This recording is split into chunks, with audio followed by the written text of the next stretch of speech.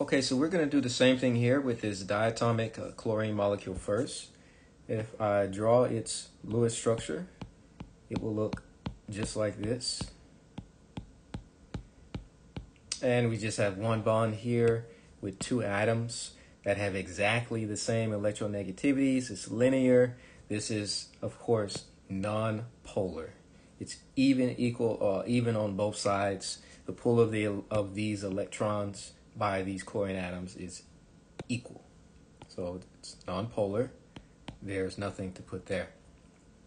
For the next uh, part of this problem, we have the uh, ion thiocyanate.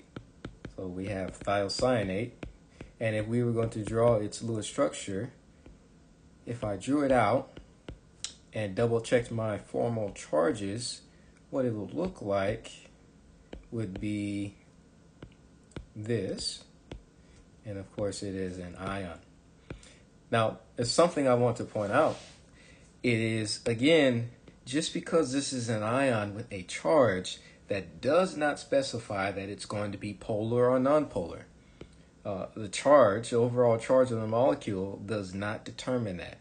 Uh, part of the determination is geometry, right? Part of the determination, but not geometry alone. So let's look at this. Let's. Uh, what is its ax notation? Well, this is going to be AX2. There are no lone pairs, so its electron domain and molecular geometry is linear. Okay. So the question is, is it polar or nonpolar? Well, because this is linear, it will be nonpolar, but only if the electron uh, distribution density on this side is the same as it is on this side. What would cause it to be the same? If this atom and this atom were the same. In this case, this is a sulfur and this is a nitrogen. The electronegativities of these two atoms is not equal, and so there will be pulls of the electrons on this nitrogen, uh, to the nitrogen and to the sulfur, they, they will be different. It won't be equal. So even though this is linear, the pull in this direction is going to be different than the pull in this direction, and they will not cancel out. So if I find the electronegativities for these atoms, uh, I find that the electronegativity of sulfur atom is 2.58, carbon is 2.55, and nitrogen is 3.04. You see that these values are not the same. So there is a large dipole moment or bond moment towards the nitrogen from uh, from the side of the carbon on these electrons here being shared between the two and, and not really much of one at all.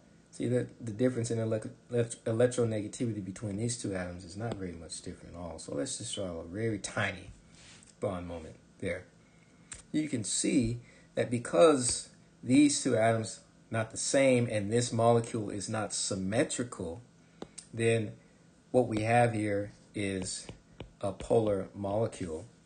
And the negative side, the atom closest to the negative side, would be the nitrogen, polar nitrogen.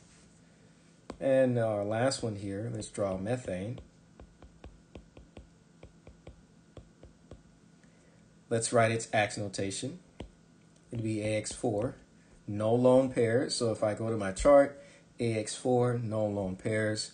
Well, that's electron domain and molecular geometry of tetrahedral. And this would be a non-polar molecule. The question is why? Well, when you look at this molecular geometry, you look at the structure of this molecule, all of the bonds are the same. Carbon, hydrogen, carbon, hydrogen, carbon, hydrogen, carbon, hydrogen. All of these bonds are spaced out equally. All of these angles are 109.5 degrees. They're all going to space out equally and evenly. And so because all of these bonds are the same and this is pretty much symmetrical, then this is going to be a nonpolar molecule.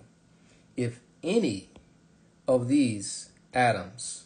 Let's say this atom was a fluorine.